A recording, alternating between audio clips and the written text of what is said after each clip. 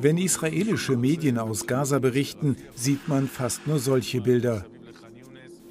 Soldaten, die vorwärts stürmen, Soldaten, die erfolgreich die Hamas bekämpfen. Israelisches Fernsehen und Zeitungen berichten 24 Stunden, sieben Tage die Woche ausschließlich über den Krieg. Man sieht nichts von Gaza. Es geht nur um die Soldaten die tapferen Soldaten, die getöteten Soldaten, die Geiseln, die Familien der Geiseln und so weiter. Nichts über Gaza. Im Schnitt wissen die Deutschen in einem kleinen Dorf in Bayern viel mehr über Gaza als wir Israelis, die nur eine Stunde von Gaza entfernt leben und die verantwortlich sind für das, was in Gaza passiert. Und wir sehen nichts davon. Gideon Levy weiß, wovon er spricht. Er ist einer der erfahrensten Reporter in Israel und berichtet seit vielen Jahren für die Zeitung Haaretz. Einmal die Woche fährt er ins Westjordanland, um hier nach dem Unrechten zu sehen, und davon gibt es viel. Diesmal sind es 700 Schafe beim kleinen Ort Musa'a, die den ganzen Abgrund des Nahostkonflikts aufscheinen lassen. So etwas wie Grenzen kennen die Tiere nicht und so sind sie unerlaubt auf das Gebiet einer jüdischen Siedlung geraten. Israelische Polizei hat die Tiere festgesetzt und verlangt nun im Auftrag der Siedlerverwaltung 150.000 Schekel Strafe von den mittellosen palästinensischen Schäfern, fast 40.000 Euro.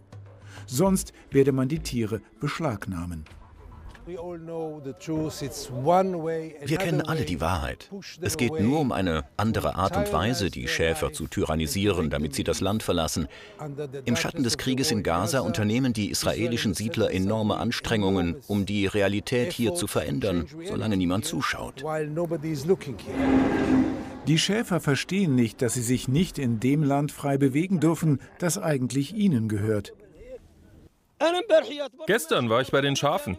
Ein Siedler kam zu mir und wollte auf mich schießen. Alles ist verboten. Es ist verboten, das Haus zu verlassen. Alles ist verboten.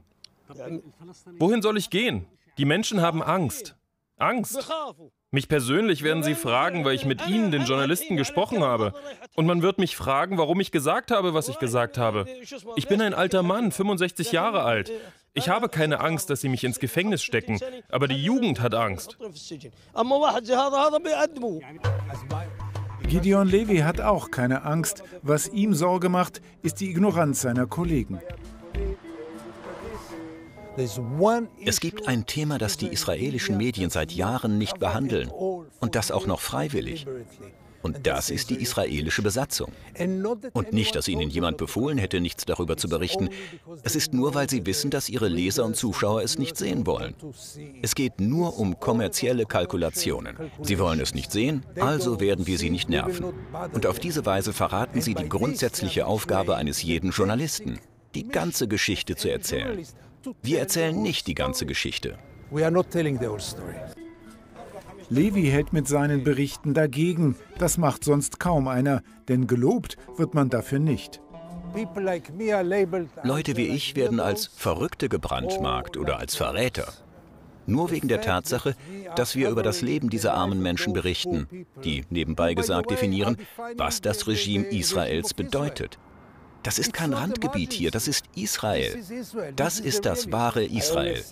Ich sage immer, ich habe das Privileg, exklusiv zu sein. Ich bin immer exklusiv. Nein, im Ernst.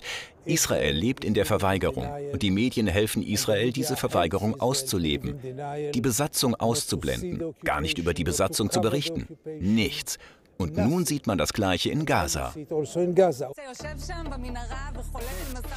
Tatsächlich berichten israelische Medien vor allem über den Vormarsch der Armee in Gaza, die gefallenen Soldaten, die Lage der Geiseln, den Kurs der Regierung.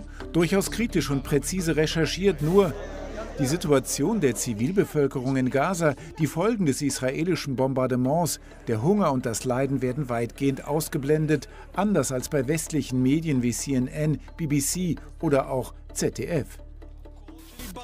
Raviv Drucker, Moderator bei Kanal 13, redet nicht drum herum. Wir werden nicht die elenden Babys von Gaza zeigen, sterbend, verwundet oder verletzt und mit Blut im Gesicht. Wir werden nicht das Interview mit der armen Mutter bringen, die gerade ihr Baby verloren hat. Das alles werden wir nicht zeigen. So ist die Realität. Ich will versuchen, das zu erklären. Ich denke, es gab noch nie in der Geschichte Israels eine Zeit, zumindest während der letzten 50 Jahre, in denen die israelischen Medien so in die Pflicht genommen worden sind, um Israel zu helfen, den Krieg zu gewinnen. Doch was ist der Grund für diese Selbstbeschränkung, die flächendeckend fast alle israelischen Medien erfasst hat? Wir zeigen fast nichts vom Elend und vom Leiden in Gaza. Man sieht nur sehr wenig davon auf israelischen Bildschirmen. Zum Teil hat das technische Gründe, weil wir keine Reporter dort haben. Aber der andere Grund ist, dass die Leute es nicht wissen wollen. Und sie wollen es nicht sehen. Es ist nicht so, dass sie es nicht wüssten. Sie wissen es, aber sie wollen es nicht sehen. Sie betrachten das Ganze als wir oder die. Aber verstößt es nicht gegen journalistische Grundregeln, nicht über die andere Seite zu berichten, nicht über die Menschen in Gaza und nicht über die im Westjordanland? Zunächst mal in diesem Punkt haben Sie zu 100 Prozent recht. Und dieses Verhalten ist völlig ungerechtfertigt. Ich habe auch keine Entschuldigung dafür. Aber jedes Mal, wenn wir eine Geschichte in meiner 40-minütigen Investigativsendung bringen, eine Geschichte über Fehlverhalten im Westjordanland, dann will das niemand sehen. Das heißt, frage ich, der wahre Grund ist, dass es kein Interesse der Öffentlichkeit dafür gibt? Sie langweilen oder nerven gar ihre Zuschauer, wenn sie solche Berichte senden? Es ist noch viel schlimmer als Nerven. Ich bin ein Quälgeist. Es belästigt die Zuschauer. Sie wollen es nicht sehen. Sie haben noch nicht mal die Energie, mich zu beschimpfen. Sie gehen einfach nur auf einen anderen Kanal oder lesen die Zeitung. Sie wollen einfach nicht mehr über diese Sache wissen. Der Journalist Ben Linfield kritisiert seit langem die schwarzen Löcher der israelischen Berichterstattung. Für ihn geht es auch um den Verfall demokratischer Werte.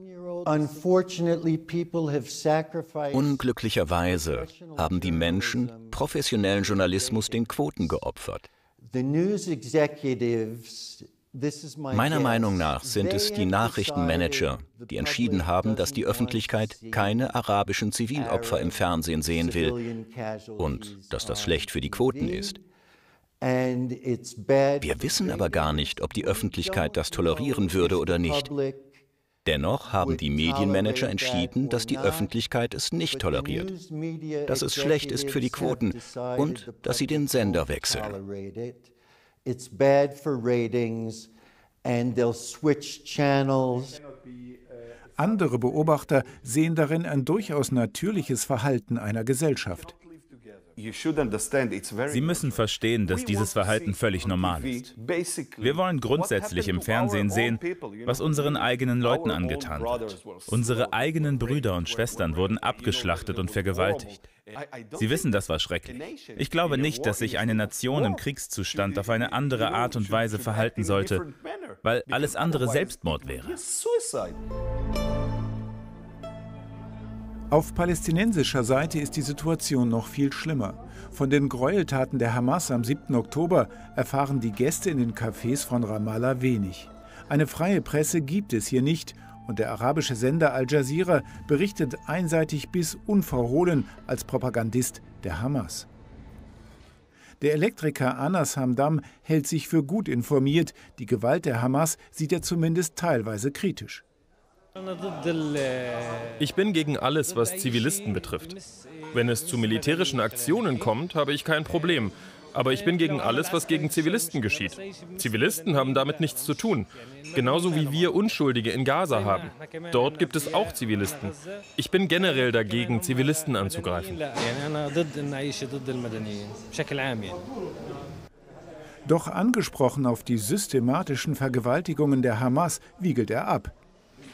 Nein, nein, das stimmt nicht. Die Israelis haben zunächst die sozialen Medien benutzt und diese Gerüchte verbreitet, um die öffentliche Meinung im Westen zu gewinnen. Doch dann wurde all dieses Gerede widerlegt. Sogar die Geiseln selbst sagen, es ist nichts passiert. Ein weit verbreitetes Urteil, obwohl die Beweise erdrückend sind. Es heißt, dass sie Frauen vergewaltigten. Aber ein Muslim vergewaltigt nicht, selbst wenn er seinen Feind bekämpft. Das ist Gesetz. Unser Prophet hat uns gesagt, du sollst keinen Baum fällen oder ein Gotteshaus abreißen und du sollst keine Frau töten. Dass angeblich nicht passiert ist, was nicht passieren darf, hängt nicht zuletzt mit der dominierenden Berichterstattung Al Jazeeras zusammen. Ein Interview mit dem ZDF lehnte der Sender ab. In der Wahrnehmung der Araber erkennen selbst palästinensische Meinungsforscher eine durchgängige Fehlwahrnehmung. Die meisten Palästinenser glauben nicht, dass die Hamas die Gräueltaten begangen hat, die sie begangen hat. Die große Mehrheit der Palästinenser hat die Videos nicht gesehen, die zeigen, wie die Hamas Gräueltaten in den israelischen Städten nahe Gaza begeht. Dennoch erachten die meisten Palästinenser Angriffe auf Zivilisten, Frauen und Kinder als Kriegsverbrechen und als Verstoß gegen internationales Recht. Sie glauben nur nicht, dass die Hamas so etwas getan hat. Diejenigen, die die Videos gesehen haben, die solche Gräueltaten zeigen, geben zehnmal häufiger zu, dass die Hamas diese Gräueltaten begangen hat. Das macht also einen Unterschied.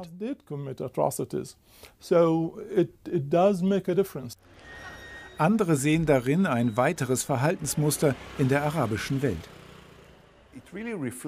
Das reflektiert ein viel tieferes Problem in der arabischen und in der muslimischen Welt.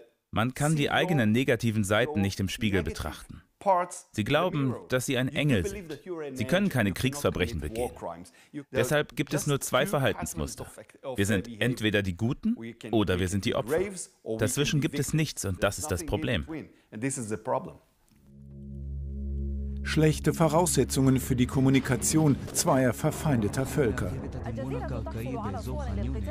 Die arabische Welt von freier Berichterstattung weit entfernt, Israels Medien mit blinden Flecken. Die Medien auf beiden Seiten spielen eine negative Rolle. Anstatt die Menschlichkeit der anderen Seite zu betrachten, entmenschlichen sie die andere Seite.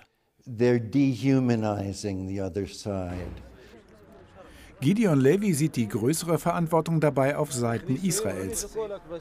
Die israelischen Medien haben den Ruf einer freien und demokratischen Presse, was bei den palästinensischen nicht der Fall ist. Sie sind nicht so frei wie unsere Medien. Deshalb ist unsere Verantwortung so viel größer. Und noch eines empört ihn ganz besonders.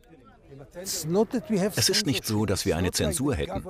Es ist nicht so, dass die Regierung, die Geheimdienste oder die Armee uns befehlen würden. Zeigen sie das nicht.